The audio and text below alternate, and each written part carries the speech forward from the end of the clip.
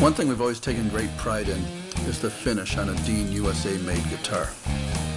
From our inception back in 1977, it was my idea to have the absolute best finish on a guitar.